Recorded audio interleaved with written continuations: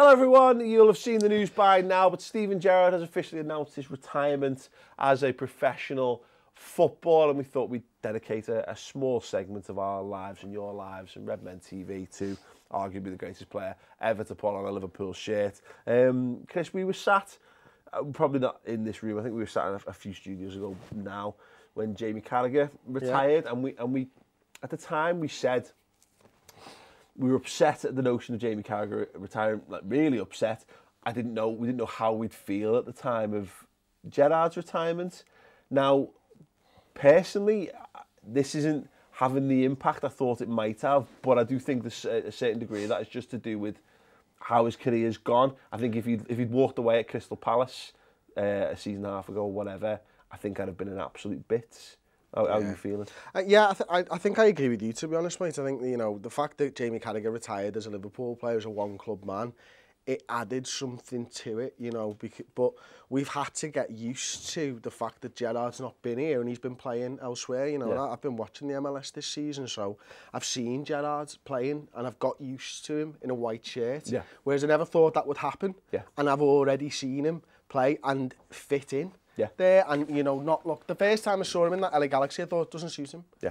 But now I'm like, yeah, it does, because I've seen him in it and I've watched him play football and I've understood how he's played. And, you know, for me, I always prefer Jamie Carragher, I, I, you know, as a, as a footballer and all that type of stuff. I, he's not on Gerrard's, he's not in Gerrard's league. No, absolutely. But you can have a, you can have,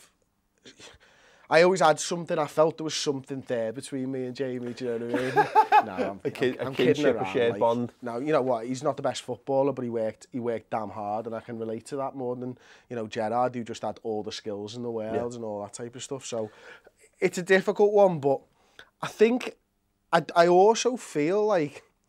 I think we didn't give Gerard the best send off, and I'm a little bit sad because of that. And I, that, I would that, that. Well, you know that, that the, the last game, the team didn't perform for yeah. him. I'm not talking about the fans, I'm talking about the, the team. All the things they did around, players. around and, yeah, yeah. Everything about that, it felt like that wasn't how Gerard's story at Liverpool should have ended. It felt like the end of the story that the, all the fans who've been trolling him because of the, the, the slip. They had that. written the story ha, exactly, and Exactly, yeah, completely. That. And, and I think it's, it's as though they thought, ha ha ha, because I think that's, that's the thing that's the worst thing for me. And, I, and it, it's a shame that it would be his career's ended that way because of uh, what a magnificent football player, what a magnificent servant he was to Liverpool. Um, just in terms of being a footballer on the world on world stage as well, up there with the best ever to play the game. And it is a shame that it doesn't get to be a, a Hollywood story. But I think Gerard's career's kind of not ever been that way. But you know, when you look at like Zidane, so I mean, uh, uh, to be fair, actually kind of an ignominious end, I guess, to his playing career. with the, the, the headbutt and what have you. But then he's gone in and he's, he's like broken all kinds of records as a manager and stuff. There's, he's got that sitting aura about him. Whereas Gerrard's always had those little moments in him of not superhuman, which is kind of his appeal to some extent. It's fallen over when he was doing his post-match interview. I think he was Luton, and he was uh, he was being interviewed, and he basically fell, he slipped and fell over. It's a caring thing by the looks of it. And it, it, it, but it is a shame that I would have loved him to have this fairy tale story where he lifts a league title or he got one last piece of silverware or just frigging out, just go out on a win. But it yeah. never, it, you're right, it never, it never quite had that. And that was, that, that again, you're right, that's where Liverpool were as a club. It was, which is a real I think, real yeah, I, I feel, the reason that I feel really sorry for Gerrard is that I don't ever think he had the players around him to do himself justice. And, yeah. you know, he hindered himself his entire career for a love of Liverpool. Yeah. And that's one of the reasons why I do love him. Because he could have gone and played football and won trophies anywhere in the world. Yeah. You know, he could have gone to Chelsea in 2005. He could have gone to Real Madrid. He could have gone to any club in Europe, would have had him if they thought they had a tiny little sniff yeah. of a chance. And, you know, Gerard being a Liverpool native and you know a Liverpool fan down to his core held him back and I feel like the club and the players that he played with owed him more than the send off that he got. It's one of them isn't it you know if he'd been born 20 years earlier or maybe 5 years later you know that it's one of those things isn't it that I, uh, he and um, it's interesting to know because we we he was so integral to how to how we played and we wouldn't have had the successes that we had without him there, you know, we're going to come on in a minute to talk about some of your favourite goals and, and, and memories and stuff, but, you know, so many of those like iconic Gerrard performances yeah. were iconic because he did it on the biggest stage for Liverpool and he was our best player. And you're right that it's a shame that you think of the best teams he was involved in, probably a 102 when he was a kid coming through around that era. Uh, actually 0405 wasn't was because that team, was absolutely terrible. But like 08, 09, then probably 13, 14. But they were all they were they were peaks, and they, those teams fell off very shortly after the fact. And whereas you look at like a a, a gigs or a um, you know pick a pick a player. Scholes even you know Scholes. the one that's always bandied around with him. Yeah, Lampard were fortunate enough that when they came up, they came up at the right time at, at the right at the right club, and were able to have a consistent consistent spell of winning things. So it's a testament to I think it's a testament to Gerard of how much he actually did win, because and people always say this with the Scholes comparison, the Lampard comparison, he always stands above them for me because Scholes and Lampard were never the best player in their teams they were never, or they never the one go-to guy in that team. They were always surrounded by world-class talent. And I, I'll just look back to like 04 05 in particular, and some of the players we had in that team. Garbage. Absolutely like, I, I can't imagine more than three we're getting our team now and they managed to win the European Cup you yeah. know and that's down to Gerrard uh, uh for a large part you know you think of the Olympiacos game more than anything is that that run would have been over right well who laid there. the ball onto Neil Mellor Yeah. Neil Mellor, and from all the love in the world, and uh, Neil becoming a pundit, scored some, again, some very important goals for us that season in particular. Um, Neil Mellor, we had Cinema Pongol came off the bench in that game. What have these guys got and done? I know Mellor hampered by injury, but he was never more than a championship centre forward, really. Cinema Pongol went and played around, had a decent spell at Atletico, but, but more than that, not, not, not much beyond that. Stephen Gerrard was the guy who was, the, who was dragging us out of the ship because he was our only FA World Cup finals, player. he scored on every every big stage, in the Champions League final, Europa, UEFA Cup final. Uh, he started it all against Birmingham, I think, in the League Cup. Rob, Robbie Fowler scored. Was it, wasn't it 2-1? No, we drew. Did we, yeah? All oh, right.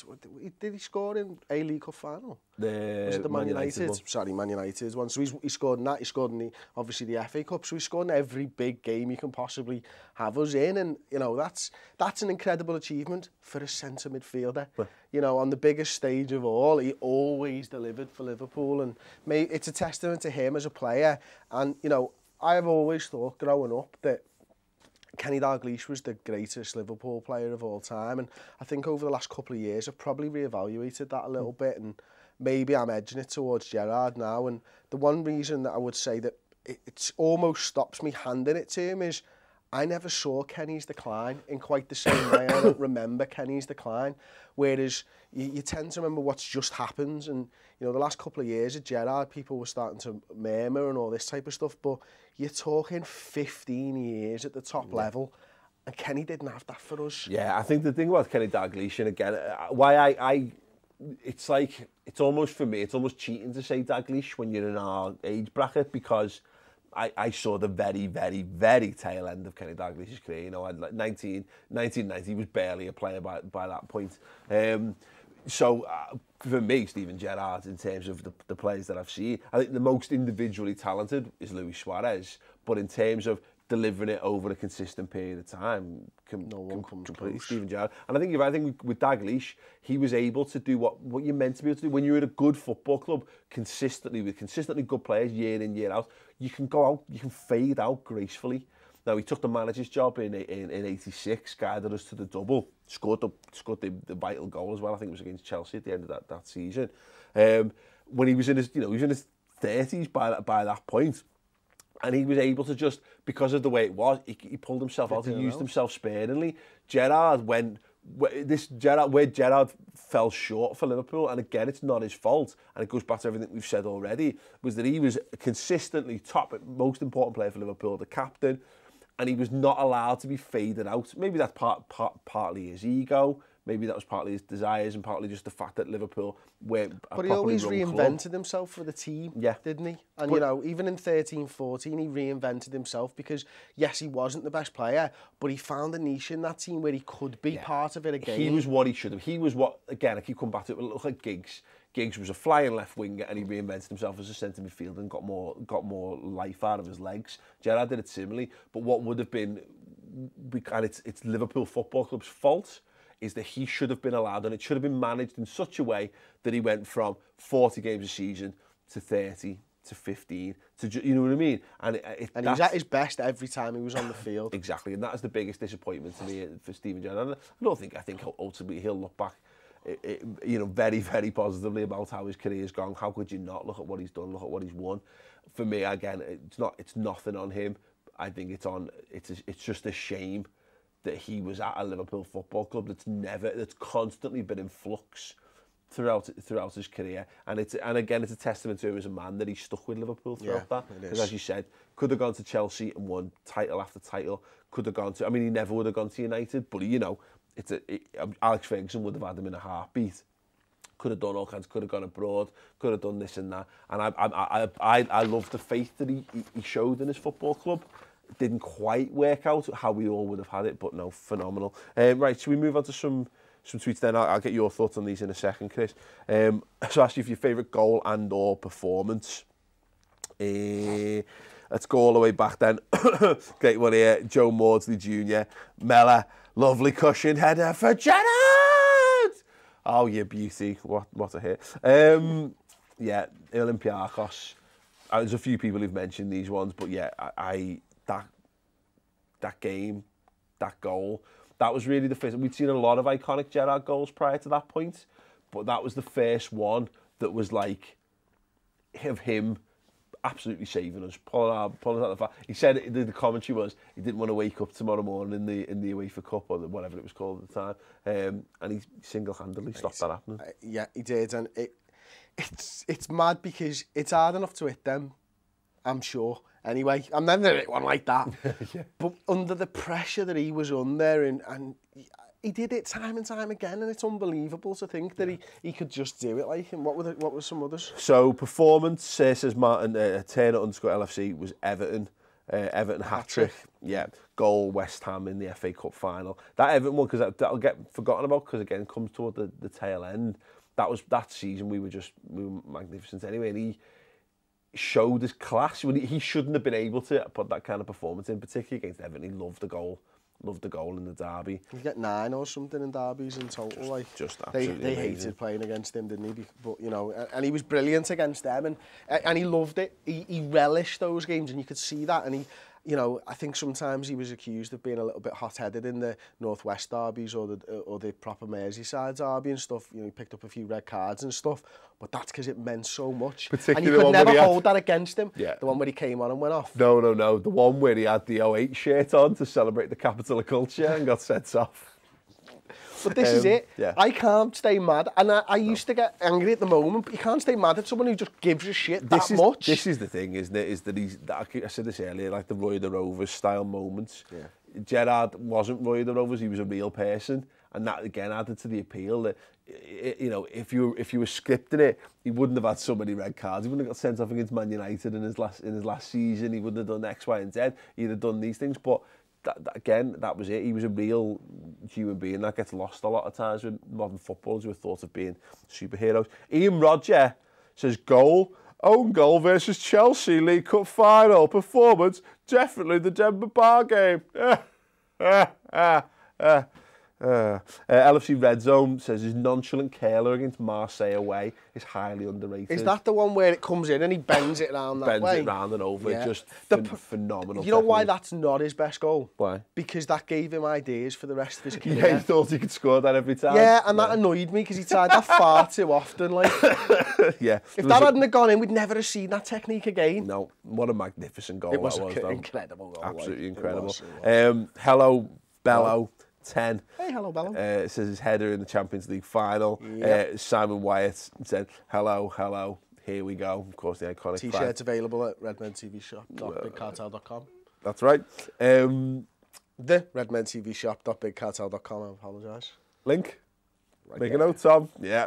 Um, yeah, hey, Christmas the, sweaters there too. The iconic, the iconic uh, Claire Tilsley commentary. Uh, not iconic if you watch the Sky coverage, which they didn't, they didn't have it. Um, Matios won UK FA Cup final versus West Ham 3-3 equaliser. I mean that that strike hmm.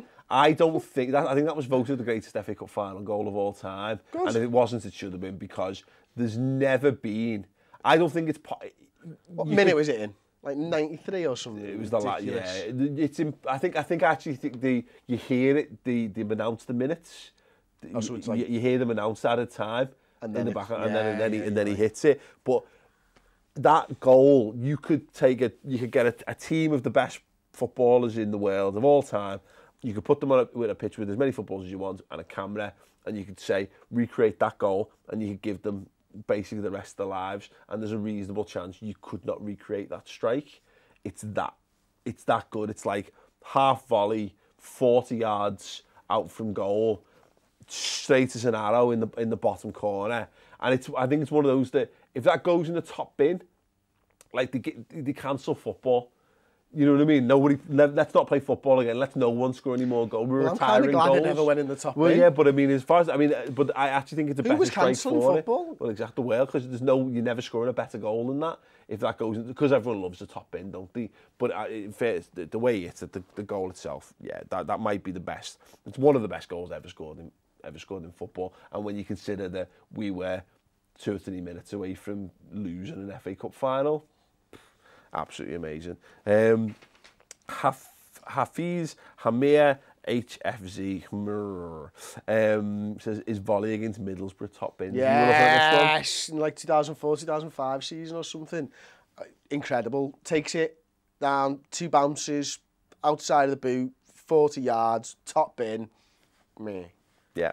Uh, Matty P90, Fulham away 13-14, top off, spoke it's fucking on. He knew it and we knew it, it was brilliant. And uh, yeah, it, was that the the penalty yeah, against, against penalty. Fulham, and he, he, took the shirt off, and he was like, and it, oh, you know, we, we all know how that season ended up, but it was moments like that when you know just we stepped up in that game. That was a one that we'd have lost in the past, and Steven Gerrard coolness under pressure being able to do it. There's millions we could literally. The, bar, uh, the, the goal past Bartez, Man United, about 2001. The one again, where again similarly 40 yards out, two touches, top bin. The one where he's got again, he's got. I remember we, me, you, and a mate of us used to go to the park and try and recreate that goal, and it's basically impossible because.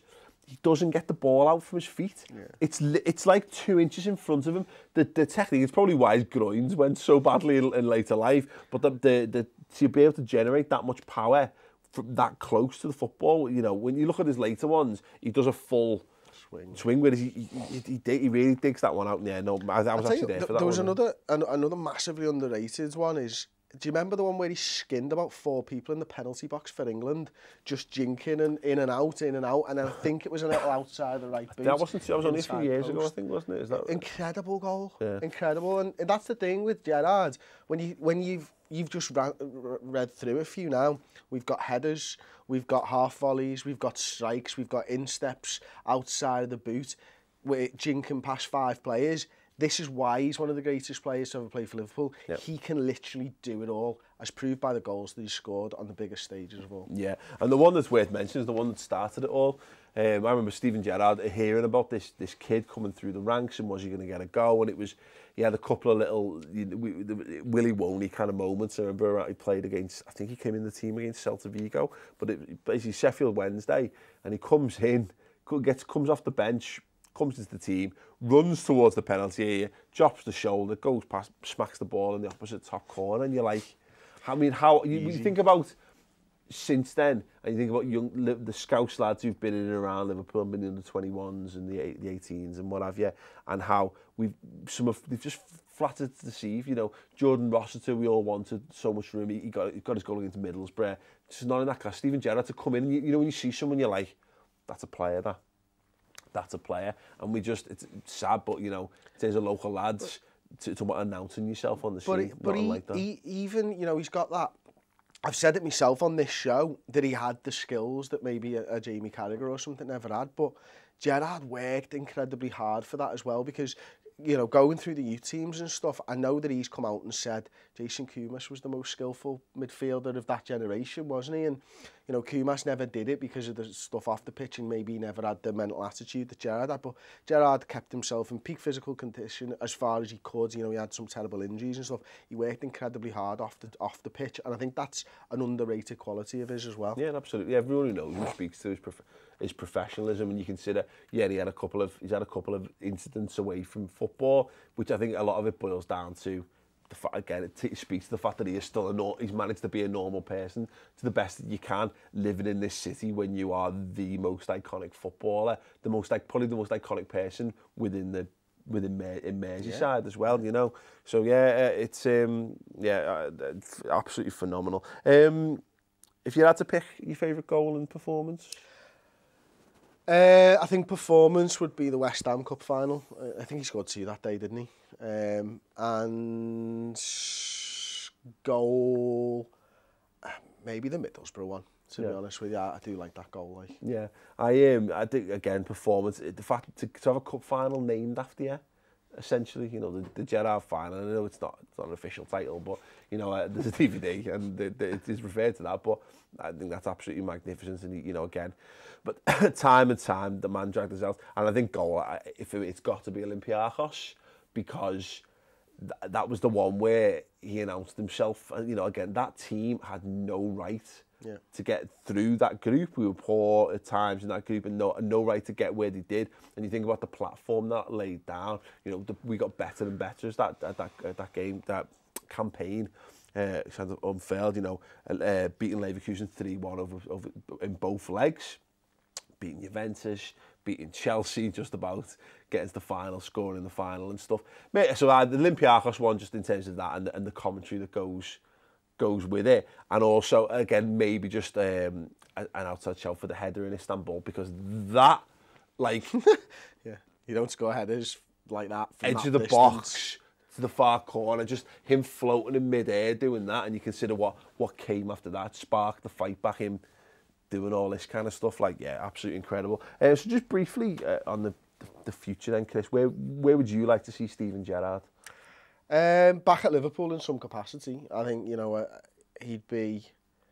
Uh, in, he, he wants to be at Liverpool. I think that's, you know, that's pretty evident now, uh, you know, turning down MK Dons and stuff like that. He wants to work with Jurgen Klopp, I feel, because, you know, going back there only a couple of months ago, in the uh, MLS mid-season break and whatever, doing a little bit of training. I think he just needs to uh, act a bit like a sponge now and just soak up as much good information as possible. And I'm not saying that it's a full-time role with Liverpool, to be honest. I think he should go out and expand his horizons. If he's got an opportunity to work with a decent manager at, uh, at the FA, then do that. If it's Southgate, don't bother.